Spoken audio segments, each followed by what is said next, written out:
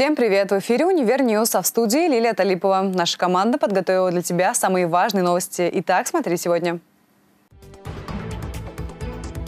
В Москве продолжается работа над проектом поправок Конституции Российской Федерации. Лицей имени Лобачевского КФУ выиграл грант на создание проекта «Цифровая экономика». Китайский фондовый рынок рухнул после каникул на фоне распространения коронавируса. Рабочая группа по обсуждению поправок Конституции Российской Федерации создала пять подгрупп для мозгового штурма. О процессе работы над изменениями в главном документе страны смотрите в нашем следующем сюжете.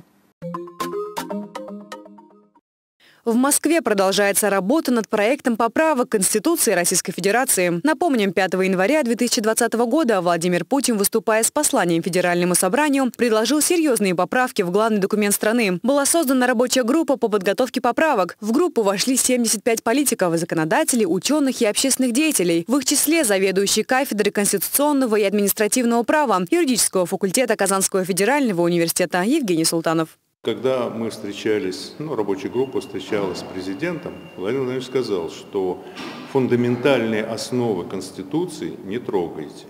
Поэтому первая, вторая и девятая главы, они неприкосновенны.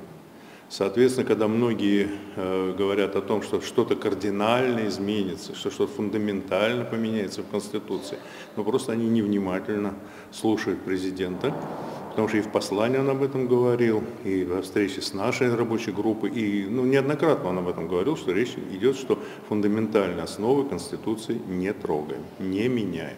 30 января было принято решение разбить группу на тематические подгруппы – социальные вопросы, науку и культура, международное право, федеральные органы законодательной и исполнительной власти, судебная власть и прокуратура, куда вошел Евгений Султанов, и единая публичная власть и местное самоуправление. Когда говорят, что там мы занимаемся юридической работой, это не совсем точно.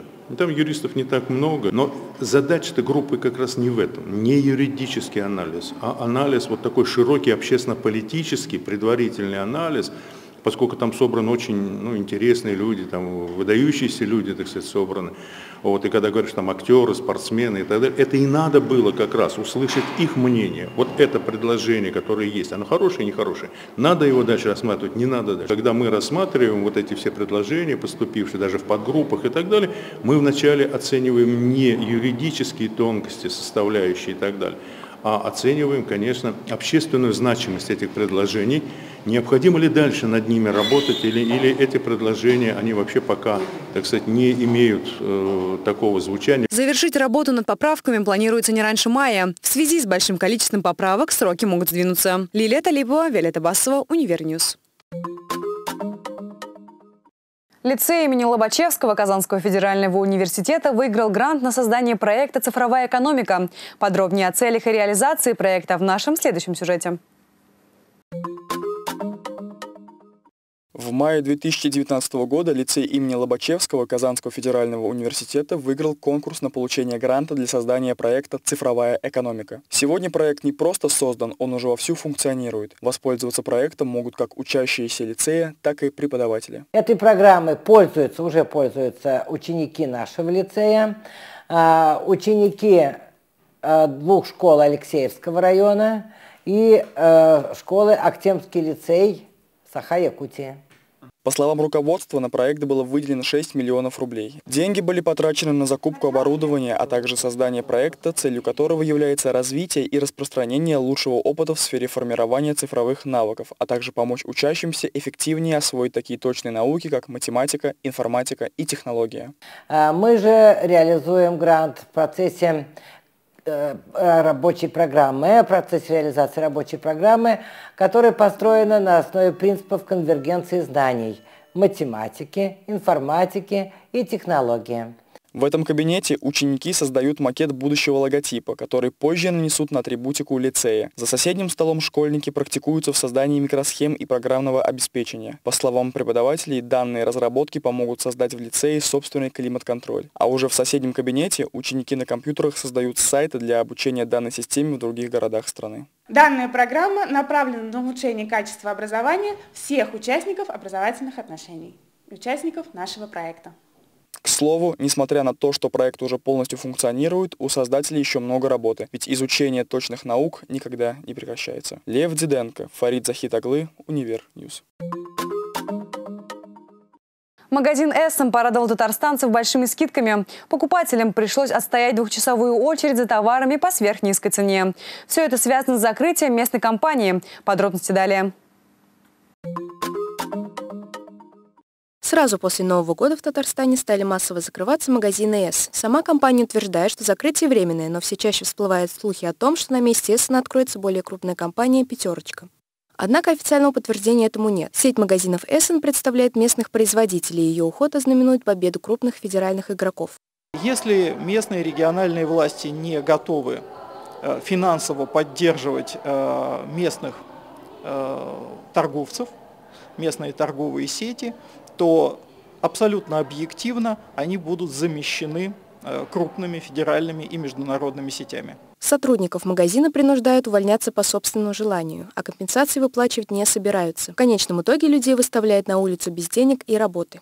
Безусловно, есть органы, в которые можно обратиться с такими проблемами. В первую очередь это Государственная трудовая инспекция, которая э, присутствует во всех э, крупных населенных пунктах. И нужно в первую очередь обращаться туда. Именно этот орган э, отвечает за Э, все трудовые споры и за соблюдение Трудового кодекса. Напомню, что сеть магазинов «Эссен» была первой в Татарстане компанией, занимающейся мелкооптовой торговлей. Здесь татарстанцы могли приобрести продукты местных производителей. Диана Желенкова, Фарид Захитуглы, Univer News. Китайский фондовый рынок рухнул после возобновления торгов на биржах. Как обвал китайских рынков повлияет на Россию и на мировую экономику в целом, узнаем в следующем сюжете. 3 февраля в Китае начались торги на биржах после перерыва на новогодние каникулы. Индексы упали на фоне вспышки коронавируса, показав самое резкое снижение с 2015 года. Ситуация, в общем, ожидаемая, поскольку усугубление э, ситуации внутри Китая с распространением вируса приводит по цепочке к остановке многих производств, а, к невозможности возобновить э, производство после новогодних каникул, которые были в Китае, э, в связи с тем, что люди не могут перемещаться из одного населенного пункта в другой. А плюс к этому э, сокращается спрос на китайскую продукцию за пределами Китая. Данная ситуация также повлияет на мировую экономику, так как Китай является крупнейшим экспортером товаров и вторым по величине импортером услуг в мире. Проблемы в экономике Китая затронут и Россию, ведь именно она поставляет в Китай значительные объемы сырья. Если производство в Китае будет останавливаться, э, то тем, кто э, тем компаниям, тем странам, которые активно торгуют с Китаем, тоже э, придется сокращать производство, сокращать экспорт в Китай, и это э, приведет к э, соответствующим потерям.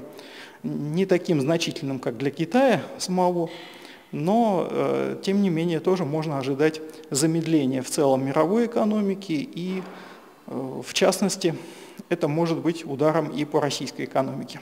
Рубль немного ослаб по отношению к мировым валютам, но поскольку основные рынки становятся крайне нестабильными, сложно спрогнозировать курс рубля. На рубле эта ситуация может отразиться неоднозначно, а, поскольку одновременно включились факторы и действующие а, в сторону повышения курса рубля и в сторону понижения курса рубля.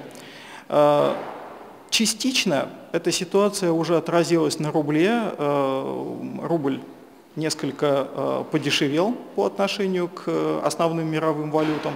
Это было связано в первую очередь со снижением цен на э, нефть, которая в свою очередь тоже было отчасти спровоцировано эпидемией в Китае.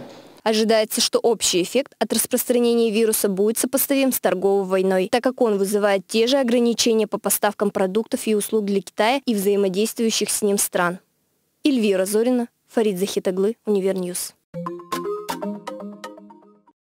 На этом у меня все. Не забывайте смотреть на социальных сетях. До новых встреч!